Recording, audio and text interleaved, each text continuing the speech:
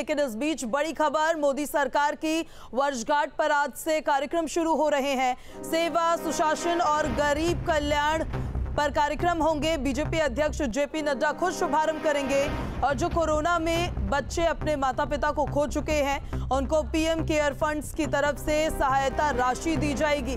मोदी सरकार के आठ साल पूरे हो चुके हैं निखिल। कार्यक्रमों का आज से शुभारंभ हो जाएगा। जेपी नड्डा खुद इन कार्यक्रमों का शुभारंभ करेंगे।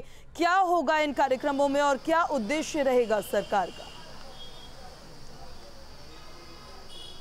देखिए, आने वाले पंद्रह दिन तक भारतीय जनता पार्टी का विशेष अभियान रहेगा। इस दौरान पार्टी के जो कार्यकर्ता हैं वो गांव-गांव तक जाएँगे, समाज के लोगों के बीच में जाएँगे और जो सरकार की उपलब्धियाँ हैं पिछले आठ साल की केंद्र सरकार की, वो जनता तक पहुँचाने की कोशिश करेंगे। इसके साथ ही जो सबसे महत्वपूर्ण एजेंडा भारतीय जनता पार्टी का है, वो है जो लाभार्थी हैं। तो लाभार्थी कितने लाभान्वित हुए और कितने ऐसे लोग हैं जिनको लाभ लाभार्थी बनाना है? इसको लेकर जन जागरण अभियान जो है भारतीय जनता पार्टी की तरफ़ से शुरू किया जाएगा। और इसके साथ ही कोरोना काल में जिन बच्चों के परिवारजनों की डेथ हुई थी उनको किस तरह से सहायता दी जाए ये उनके बीच में भारतीय जनता पार्टी इसको लेकर पहुंचेगी। तो पंद्रह दिन तक ये भारतीय जनता पार्टी का उत्तर प्रदेश में विशेष अभियान है। आठ साल पूरे होने पर सरकार के मकसद जैसा मैंने बताया कि जो लाभार्थी हैं उनको एक तरफ़ पार्टी से जोड़ा जाए दूसरी तरफ़ ऐसे लोग जिनको ज़रूरतें हैं, अब उनको किस तरह तक ज़रूरतें पहुँचाई जाएँगी, इस पर भारतीय जनता पार्टी के कार्यकर्ता काम करेंगे। पंद्रह दिनों तक विशेष अभियान चलेगा। जी।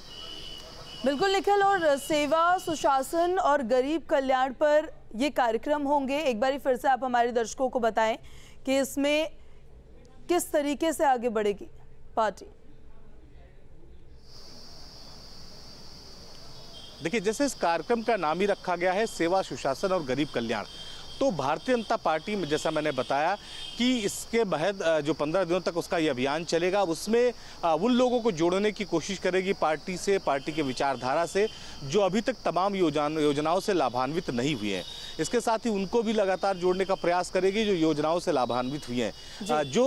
इस दौर में किसी तरह की परेशानी में यानी जो पायदान के एकदम अंतिम व्यक्ति है पंक्ति का उसको किस तरह से लाभ की योजनाएँ पहुंचाई जाएँ इस पर भारतीय जनता पार्टी के कार्यकर्ता काम करेंगे। पंद्रह दिनों तक ये अभियान चलेगा।